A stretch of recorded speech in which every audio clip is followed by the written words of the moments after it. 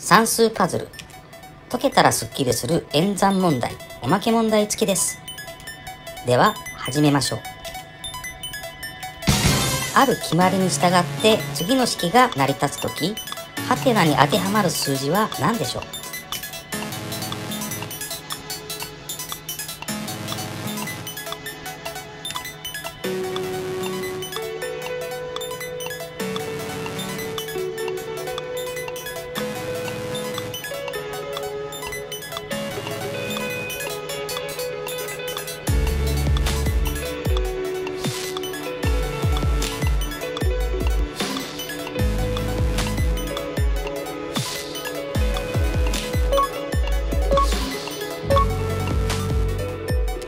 は解説をします。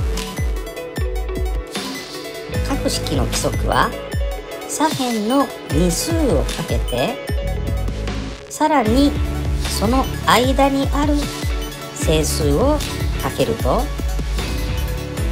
右辺の数字になります。3星4は間に整数がないので 3×4 で12となり以下は上のようになります。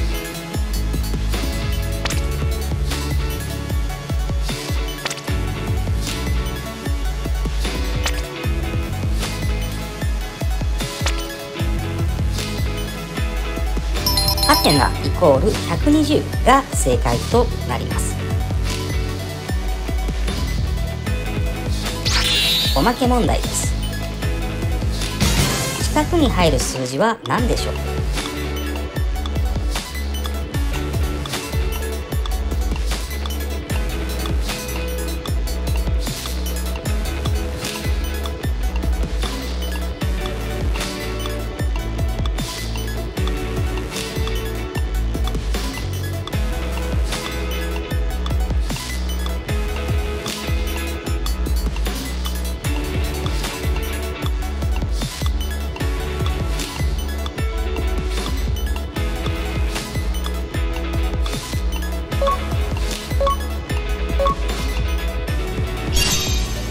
この問題が解けた方はコメントをお待ちしております。